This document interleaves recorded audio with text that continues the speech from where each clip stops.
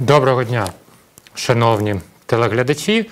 В студії політичний консультант Микола Спірідонов з оглядом свіжих подій, які сталися останній тиждень, от е, те, що найбільш хвилює.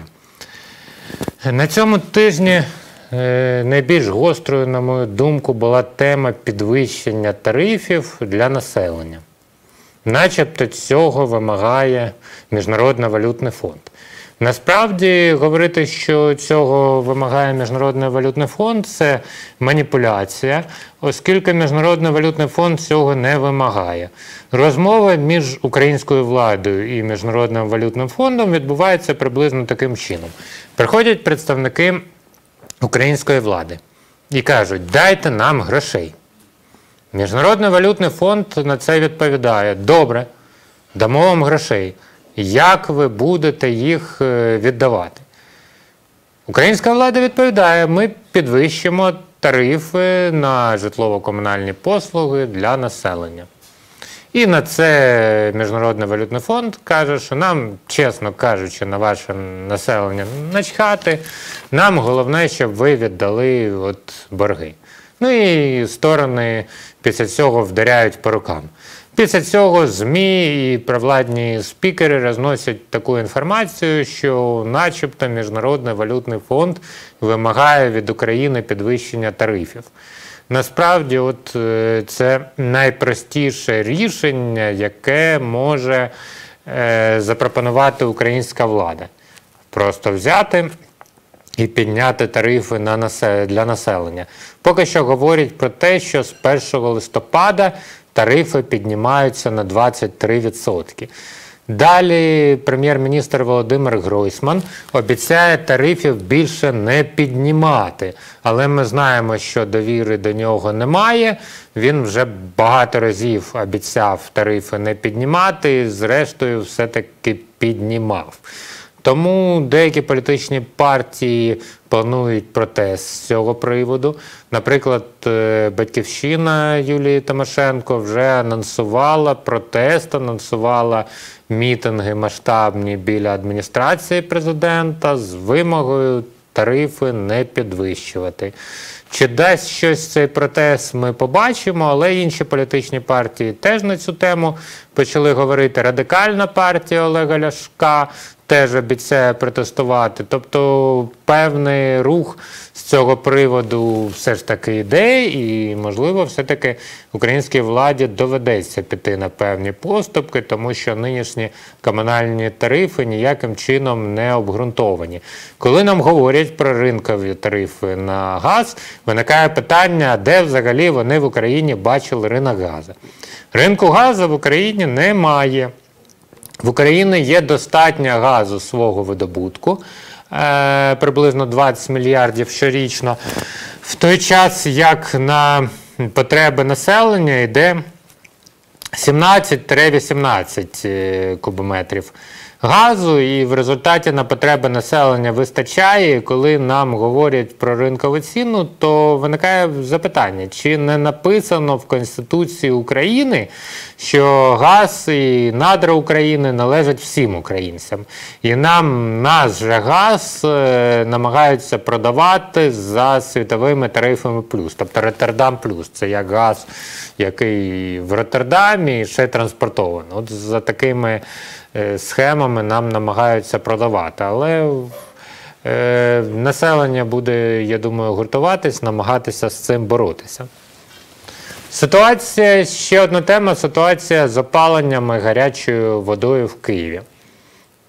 Не так давно всі газети, на які має вплив чинний голова Київської міської державної адміністрації, мер Києва Віталій Кличко, голосно оголосили про те, що от вже опалення, вже гаряча вода з'явилась. А в результаті немає. В дуже багатьох киян немає ані опалення, ані гарячої води. Е, вночі вже бувають заморозки, і навіть гарячої води дуже багатьох немає, в тому числі і в моїй оселі на Дорогожичах теж гарячої води, на жаль, немає. Тому антиреклама в кличка в результаті вийшла, що він голосно оголосив, що начебто вода з'явилась, а вода з'явилась далеко не в усіх, і в результаті опалювальний сезон знаходиться під загрозою, скажімо так, зриву, тому що, е, в принципі, повинні підключати тепло вже 15 жовтня. Зараз у нас на календарі 25 жовтня. Підключили далеко не всіх. Ситуація лишається складною через боротьбу мера Києва з газовими монополістами. В результаті не зрозуміло, хто тут правий, хто тут винуватий. Але кияни страждають. І приблизно я от е, звернув свою увагу основну на Київ, тому що я в Києві живу, тут основні політичні процеси. Але по факту приблизно така ж ситуація в усій Україні, тобто дуже в багатьох містах ще теж немає ані тепла, ані гарячої води. Тому от е, ситуація така зберігається. Ситуація релігійна теж досить цікава з Томасом, який обіцяли надати українській церкві. Е, Для того, щоб був е, наданий Томас, е, необхідно об'єднати українські церкви, наприклад, Українську православну церкву Київського патріархату з Українською автокефальною православною церквою. Це об'єднання провести поки що не вдається, тому що, як говорять, у нас на двох українців приходиться три гетьмани. І поки що є ризик, що об'єднання церков е, так і не вдасться провести е, до е, до президентських виборів, тому що процес цей е, не дуже швидкий, потрібно провести собор. Але вже є реакція з Росії на ці дії, на намагання об'єднати українську церкву. Е, Володимир Путін разом з Дмитром Медведєвим оголосили, що вони введуть санкції проти українських компаній е, великої кількості, великої кількості фізичних осіб.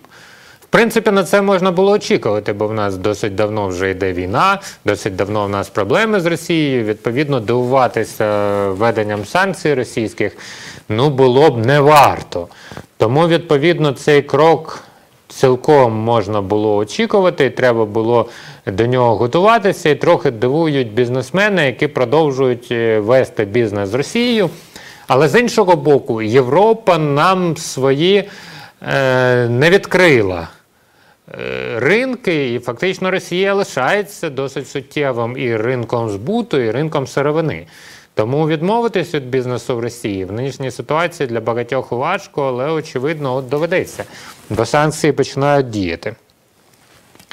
Е, Ще великого розголосу набула ситуація в Харкові. Там е, дівчинку образили шостикласницю, яка е, мама якої не здала там якісь гроші на батьківський фонд, і дівчинку принизили з цього приводу.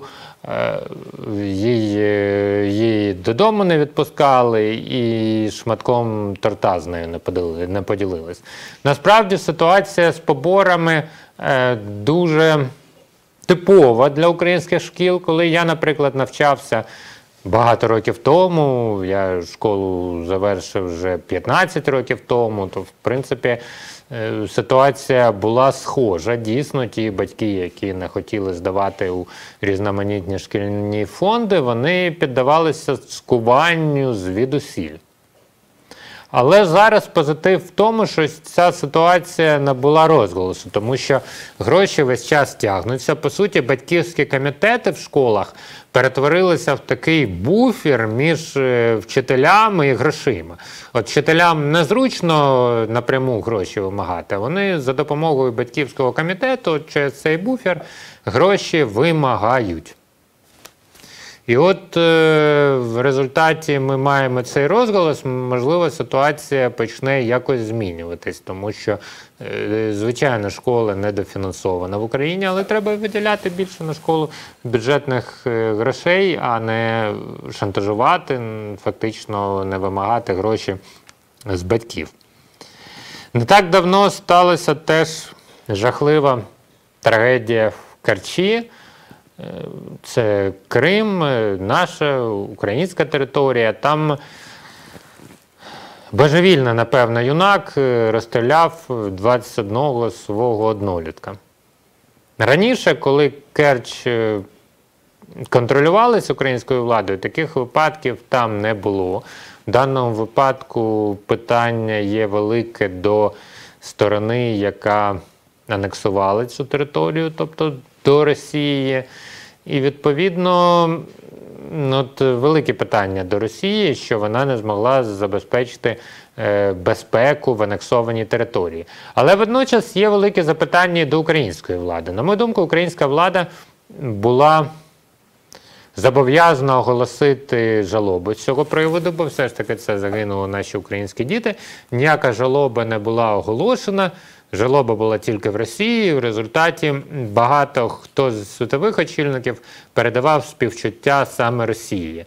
Україні співчуття не передавали, тому що Україна ну, от, не, дуже активно реагувала з цього приводу. В результаті, з дипломатичної точки зору, е, для нас така ситуація досить є небезпечною, що співчуття передають саме Росії. Ну зараз вже трохи дим розвіявся після цієї трагедії, тому ми можемо її аналізувати, скажімо так, е, з прагматичної точки зору, теж, хоча, звичайно, боляче, досі, досі болить. Е, Ще хотів розглянути рейтинги нещодавні, які на минулому тижні з'явились. Рейтинги компанії Актив Груп по популярності кандидатів в президенти. Згідно з цими рейтингами, лідирувати продовжує Юлія Тимошенко. Серед е, всіх виборців в неї 11,7% голосів.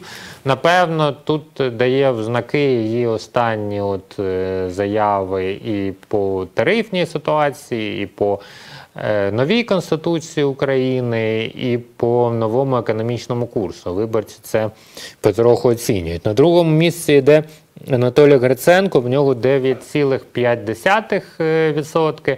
Анатолій Гриценко, як правило, має досить непоганий рейтинг, але потім в результаті він провалюється на виборах. Тому от в нього є дуже багато проблем. Насамперед кадрових в нього немає чіткої команди. На третьому місці йде чинний президент України Петро Порошенко, в нього 8,5%, що для нього досить непогано, тому що в багатьох рейтингах він вже там був на сьомому місці, на дев'ятому, а тут він все ж таки на третьому місці, що лишає для нього певні шанси на успішний результат на виборах. Далі йде Зеленський 6,6%. До речі, стосовно участі в виборах пана Зеленського немає жодного сумніву. Тому що до його команди вже підключились люди, які б не підключились до його команди, якби він на виборах не висувався. Тому дійсно пан Зеленський на вибори йде, і це, скоріше за все, технологія банкової намагання перетворити політику в шоу. Як це діє? Що от на вибори висуваються актори, що це вже цирк певний, і в результаті виборці подумають: от якщо йдуть актори, навіщо нам в цьому приймати участь? Ми взагалі не будемо голосувати. І чим менше буде явка, тим легше буде банковій, тобто адміністрації президента, сфальсифікувати вибори. От така от е, іде політична технологія. Далі йде Олег Ляшко 5,3%, Святослав Вакарчук 3,7%, Мураєв 3%, Садовий 2,8%, Рабінович 2,8%. Ну от е, нещодавно Садовий оголосив дійсно про свій намір іти на вибори, і багато хто з журналістів мене питали, чого Садовий взагалі йде на вибори. Насправді, похід на вибори це вимушений крок пана Садового, тому що його лідерство в партії вже багатьма ставилось під сумнів. Тобто, от, е, наприклад, е, його деякі соратники погано приховують свої президентські амбіції. Наприклад, Оксана Сараїд. Фактично, фахівцям відомо, що вона теж хоче йти на вибори. Е, В Київраді розкололась партія самопомочі, з неї вийшов досить харизматичний пан Гусовський. І для того, щоб втримати свою команду, для того, щоб партія самопоміч в найближчий час не розвалилась, Андрій Садовий змушений йти на вибори і оголосити про свої амбіції. Якщо йому вдасться набрати бодай 5-6% голосів, тоді цілком можливо, що він і поведе і партію на вибори парламентські, які відбудуться за рік. Якщо він набере менше, тоді, скоріш за все, намагання його прибрати з посади загостриться. Ну і остання тема, яку я хотів е, розглянути, це міжнародний скандал, е, досить гучний е, вбивство Джамаля Хашогі, якого багато хто називає журналістом, але журналіст це, судячи з усього, далеко не єдиний його титул. Е, Пан Джамаль Хашогі зайшов е, в консульство Саудовської Аравії е, в Турції і вже з цього консульства не вийшов. Він там був по звірячому вбитий, згодом його тіло було знайдено в колодязі. Як кажуть, тут, як завжди, причетна до цього і жінка, тому що він зайшов в консульство з метою отримати там документи про своє розлучення, щоб мати можливість е, одружитися другий раз на своїй новій обраниці. Відповідно, от е, він е, заради цього пішов взагалі в консульство. Чому все ж таки ця ситуація набула широкого міжнародного розголосу, незважаючи, незважаючи на те, що журналістів, на жаль, дуже часто вбивають, і вони все одно от, е, і про це не так вже часто і говорять. Судячи з усього, Джамаль Хашогі був не просто журналістом. По-перше, він був е, родичем досить впливових осіб е, в Саудівській Аравії. Наприклад, е, він е, був е, родичем Доді Альфаєда, який був чоловіком принцеси Діани. Є ще багато в нього впливових родичів, навіть кажуть, що він фактично походить з королівської родини. І з дуже великою ймовірністю він був розвідником насправді, а не журналістом. І його вбивство свідчить про переділ е, влади в Саудівській Аравії. Але зараз світ на це відреагував, відреагував досить бурхливо. Е, Навіть Дональд Трамп думає про те, щоб накласти е, певні санкції на Саудівську Аравію, незважаючи на те, що зараз відносини між Саудівською Аравією і Сполученими Штатами дуже теплі. І от будемо спостерігати за цією ситуацією, чим це завершиться. От чи вдасться Саудівській Аравії все-таки оцей скандал якимось чином зам'яти, чи все-таки він став занадто гучним? З вами був е, політичний консультант Микола Спірідонов. Це був огляд найсвіжіших подій останніх днів. Е, Побачимося вже наступного тижня.